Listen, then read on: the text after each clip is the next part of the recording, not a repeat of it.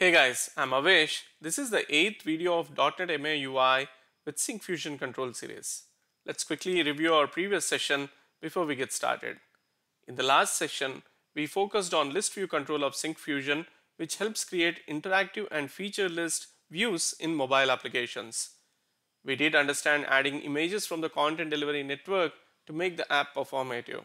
Additionally, we have learned how to use a linear layout to connect shopping cart categories. In the linear layout, the components are arranged in a single horizontal row or vertical column in a linear pattern. I recommend reviewing the previous session before proceeding. In this session, we will focus on the features of list view such as drag and drop, which reorders the items by dragging them using the drag indicator view.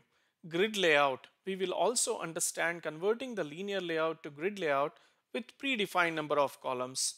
Swiping is another great feature of list view and we will associate actions from left to right or right to left and perform swipe actions. Let's now switch to the code and get going with the drag and drop feature. In the previous session, we have added the category list items and rendered these images from the CDN. To make the things faster, I have downloaded a drag indicator image and uploaded the same to CDN. Now let me bring up the Visual Studio and consume the image URL and start working on reordering the items. Let's now enhance the XAML file to support item dragging. In order to do that, let's add some properties called drag start mode equal to, let's add both of them, drag indicator, on drag indicator as well as on hold. Let's define an event called item dragging.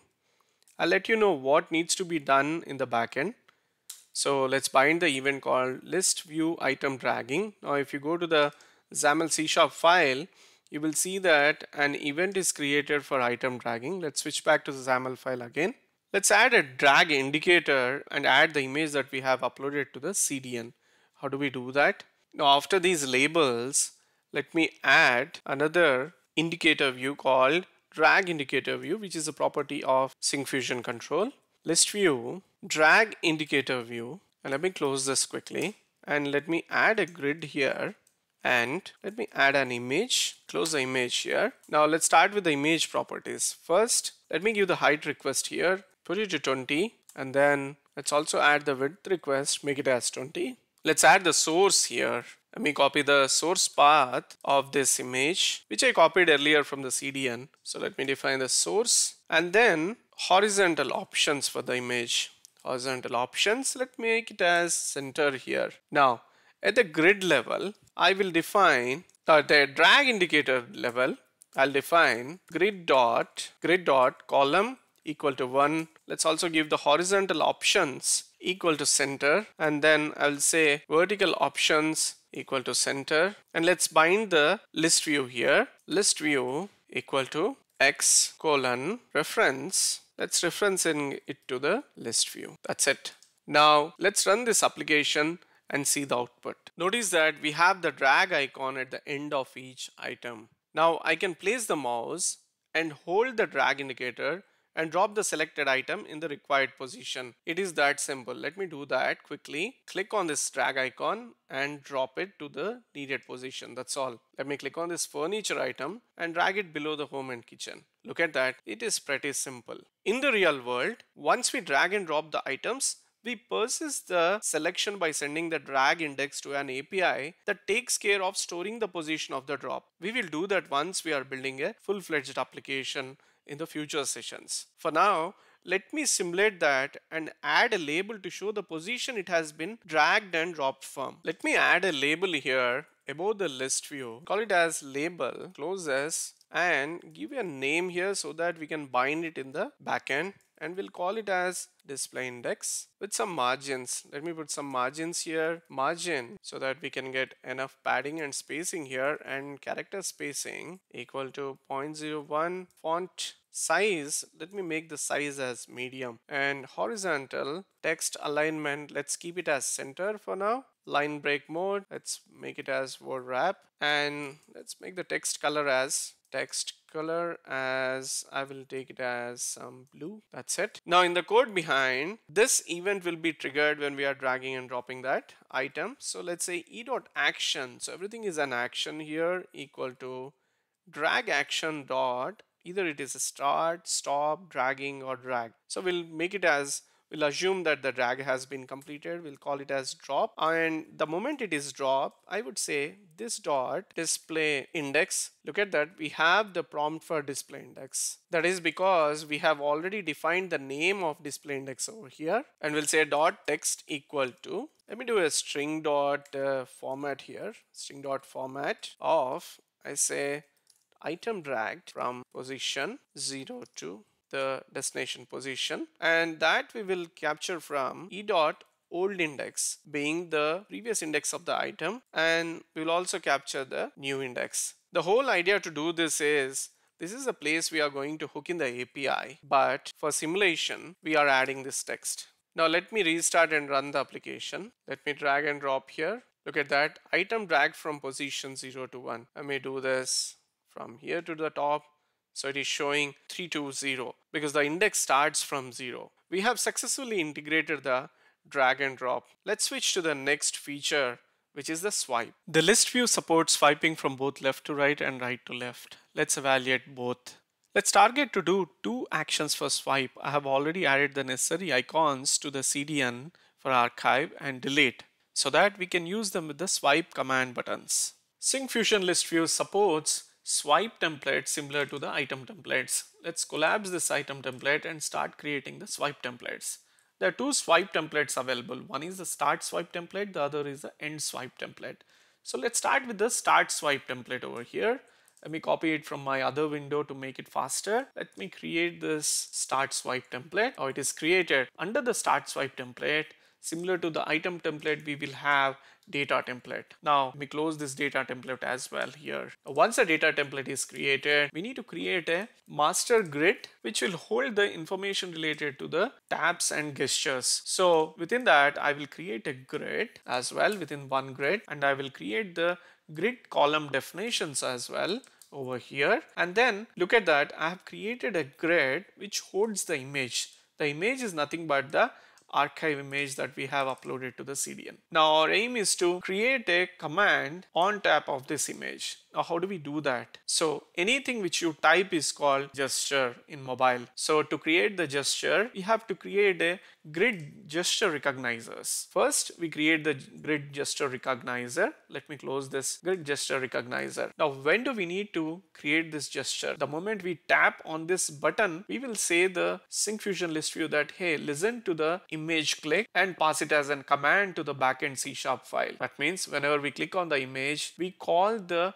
archive command as a tap gesture. So we will create a command now. Let me copy that command as well and explain you quickly. So we have a tap command gesture recognizer which recognizes the tap and it will call the archive command which we are going to build it in a moment in the C sharp file. Now I have given the command and command parameters as binding and the source as this list view. That means for that selected list view item, whenever we press a tab on this image, it will trigger this archive command. I hope it is clear for you all. Now, once this is done, we will switch to code behind and we will build the archive command. Let me show you how to do that. Let's create a property to hold the selected list view item. So I'm creating a private property called list category info and list view item here and I'll start writing the command method which will be private void archive and I would say object item since we are passing the the gesture item to this archive command I would say list view item equal to let me typecast this item into list category info and we will typecast the item into list category info. Once this is done, we are already holding the list category details as an item collection. So I would say the current collection is nothing but list category details here. Now the moment I get the current collection, I'm going to remove that item and archive it. Ideally, we will be calling an API which will mark this item as archive, but to simulate that experience right now, I'm removing that item. I would say remove that list view item. That's it. Now we have created a private method and we are taking the selected list view item over here and we are deleting that item from the current collection. Once this is done, we need to bind this as an archive command. How do we do that? Let's create a public command here, public command, and I will say as archive command get and set. And then under the generated source, we will bind this archive command equal to new command of this method which we have just created, which is archive. That's it, pretty simple. So if I switch back to the XAML, we have this archive command, which is a public binding context property, which we have defined it here. And then we have added this archive command under generate source, which we have already created in our previous session. And we are attaching the archive as the command to this. That's all. Let's switch back to the XAML and run the application again. Let me try to swipe this from left to right. Interesting. This is not working. Let me see what is going wrong here. We have defined the start swipe template. Everything looks good. But one thing we have forgot is to enable the list view for swiping. How do we do that? Let's say allow swiping is true let me define a swipe threshold equal to, let me put a number 50 and then I will also give a swipe offset as 100 and let me restart the application and see if the swipe works. Let me hold the item and try to swipe it. Notice that we have this archive button here. Let me press this button to delete it. Let's see if it works or not. That's it. The item is archived. Of course, I need to put some toast messages and other things. I'll leave it to you guys to handle those situations. But our purpose is solved here where we are able to swipe this item from left to right. Similarly, let's go back to the XAML and create a swipe from end swipe template, which will work from right to left. To make it quick, I have added the end swipe template here. Everything is same except that we are going to add it at the right side corner of the list item and the image that we are binding is the delete png which I have uploaded to the CDN again. Alright, let's run this application and see the behavior. Now we have swipe from left and then we have swipe from right.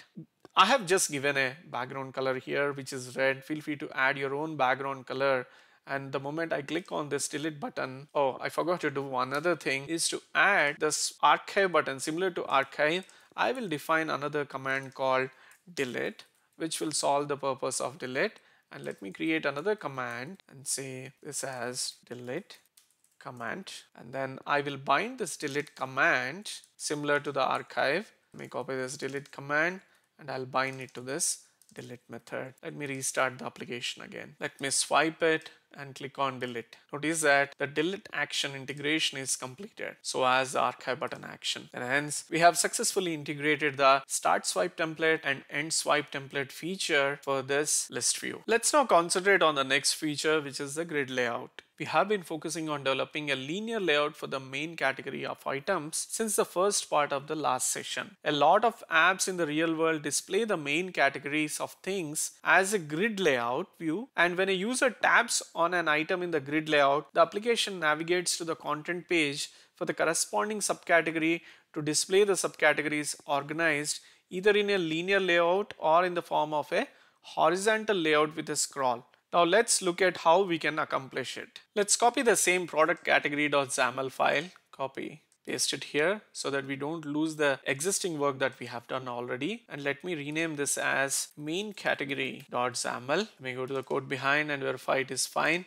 So we since okay let me change this as well main category and let me create the constructor. We don't need all of this item dragging and other information that we have added earlier. So let me remove all of these things and just make it as a blank XAML C sharp file. Now let me switch back to the main category.xaml and change the product category to main category here for the X class. So we have everything ready here. So let me also, we don't need any of these, you know, swipes or swipe offsets or drag mode or anything when we are making it as a grid layout. So let me remove these things and make it a simple list view that we have created in the beginning of this session. So let me delete all of these other templates for this main category and that's all we have. Let me also delete this event so that it doesn't throw any error. Let's keep this binding same to the list category details it's just the representation that we are changing from a linear layout to a grid layout. So that should help us. Now I'll also remove this label which is not required. So we have a pretty simple,